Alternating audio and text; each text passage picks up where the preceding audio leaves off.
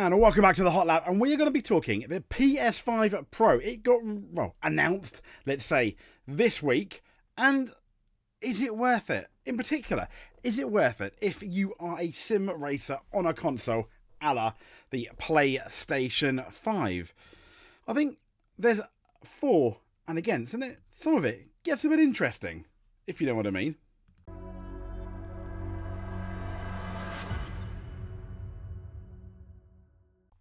So here is the Sony Witness Play Unleashed.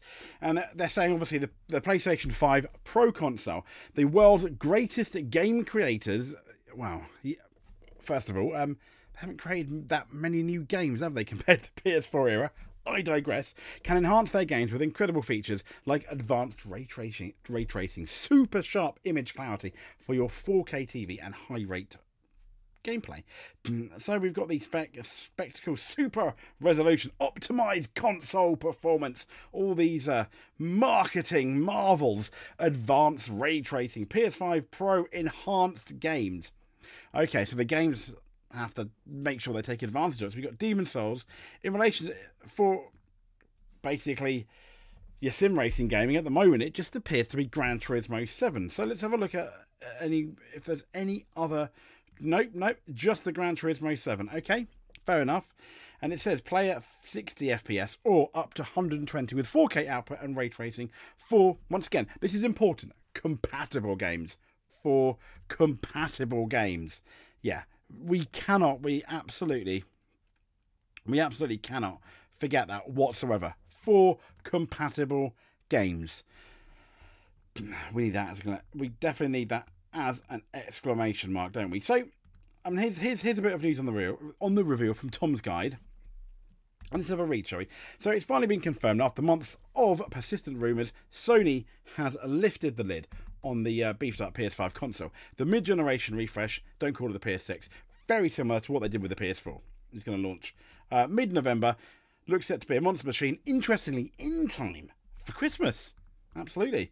So it's designed a halfway step between the current generation and what comes next in the same vein as the PS4 Pro, building on the foundations of the current PS5 and the PM, PS5 Slim console.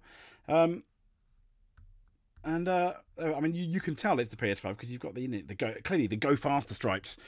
Um, by the side, the newest predictions that Sony would uh, follow the release pattern as seen. Yeah, as we know, the PS5 Pro is going to launch on Thursday, November the 7th, and not that long now. Here's the bad news though uh, the price is eye watering. And we completely agree. The console will cost a whopping $699, £699, or 1,199 Australian dollars, 799 euros at launch. That's a whole $300 more. And I'm assuming that's American dollars than the PS5 edition cost at launch back in 2020. That is incredible. Neither con and now here's here's the kick here's the big kicker. Okay, neither console comes with a disk drive. Oh, and if you want to stand your PS5 Pro up vertically, you need to fork out an extra twenty-five dollars for a separate vertical stand. Now, before we go into any kind of motorsport gaming, and as you, and as you know, there is only the one game. It's this that is the massive issue here. First of all, I mean, this just stands out. Aside from the price, we'll talk about that in a bit. They don't put a disk drive with it, which they did the most expensive PS5 console with a disk drive. And if any of you you want to play Gran Turismo and you didn't download it via DLC, you're going to have to fork up for the disk drive, which is not particularly great, does it? I mean, we'll get into how much the disk drive costs. So if you bought the special Gran Turismo 5 25th edition, which I did, I am going to have to fork out for an extra disk drive. You better start saving now. Yeah, not particularly great. If you're not deterred by the price, uh, pre-orders are going to go live September the 26th, uh, within the next 10 days.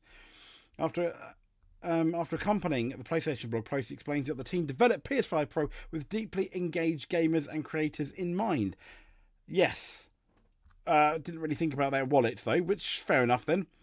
I mean, they got the ray tracing. They they got they got decent designs and stuff. It comes with a sizable, I mean, this is this is good, a two terabyte SSD. So thank goodness Sony have actually listened there. Significant upgrade on the 825 gigabyte hard drive that came with the PS5, and double that of the one terabyte that comes with the PS5 Slim. Well, the price. So to be fair though, they have made the SSD upgradable. I think I've got an, I've got another one terabyte one in my PlayStation Five, and it's fairly similar. They said the look, uh, other than those go faster stripes. So much like the PS4 Pro, the PS5 Pro is a fairly niche gaming product designed for the most passionate place. Well, you can still be passionate and not be able to afford it though. But yes, most passionate players. And here we go. The article here saying it's even more expensive outside the United States. Um, let's have a look at that then, shall we? So the PS5 Pro reveal has not gone off without a hitch. Yes, there are many negative things that people are saying. While fans were initially excited about the mid gen upgrade, many have now declared they have no intention of buying a PS5 Pro once it's released to the masses. There are those who seem interested in the power boost, but they are completely turned off by the console's extremely high price.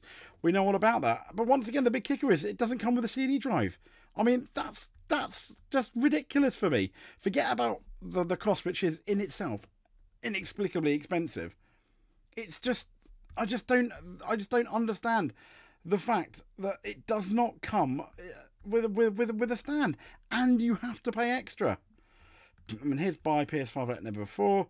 This is this this is the um, I believe these are the PS5 con. This is the PS5 console two two DualSense. This is the normal PS5 wireless controllers bundle.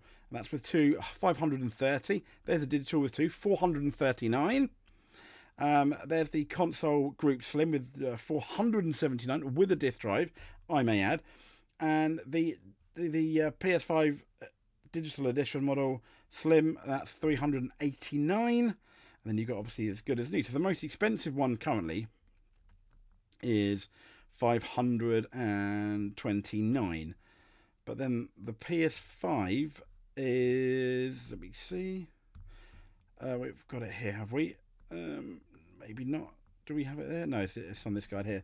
How expen how expensive it really is. So 529 versus 699. So that's I mean, and that's the with the extra with with the extra controller. So and without the CD player. I mean, don't forget that. And the fact that currently, if you were going to buy it and you were interested in motorsport games, the only game that seems to take advantage of it is going to be Gran Turismo 7. I've no doubt that maybe a Assetto Corsa Competizione? I, I, I say maybe massive question marks simply because why would they do that? Because they've got the new the, the new Assetto Corsa coming out, so I imagine so. They may they, that may well take advantage of that. And here's another thing friendly reminder that not only did the PS4's price drop over $100 after the third year, but the PS4 Pro's price, this is comparing it to the PS4, ended up being $400, which was the original price for the PS4. But now the PS5 is still the same price, and the PS5 Pro is over $200 more. And there you go. I mean, September the 15th, 2016, November the 10th, 2016, they, they did drop. I mean, look, yeah. That's how much they were 399 to 299 I mean, pounds, 259 to 349 very much more affordable. And uh, yes, that is 2016 prices. So maybe even adjusting for inflation, that's not as much as the PS5 and the PS5 and the PS5 Pro will be now.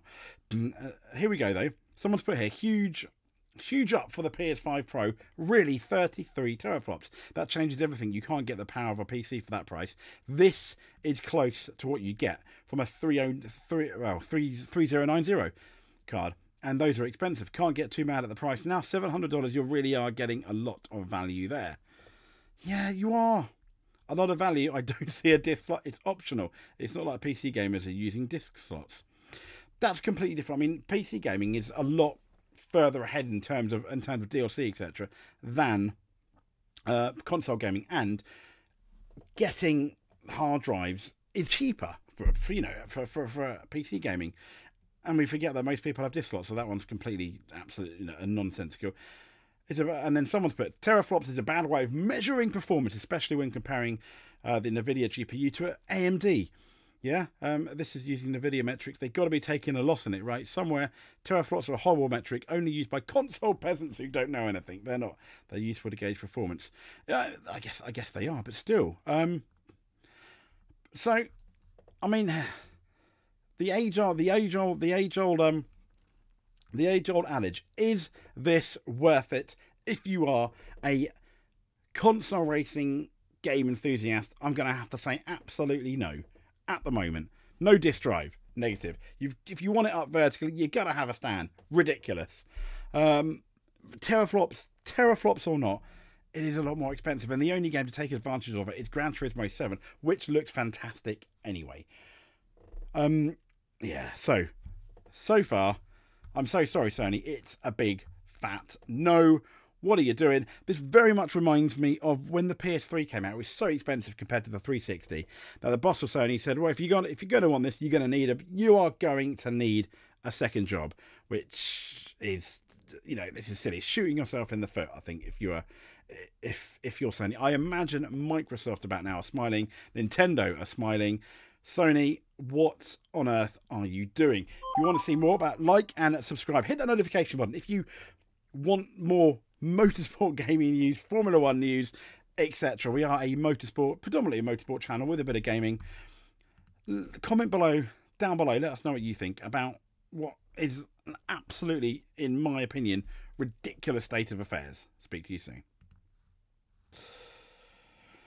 it helps if I hit the outro button, doesn't it?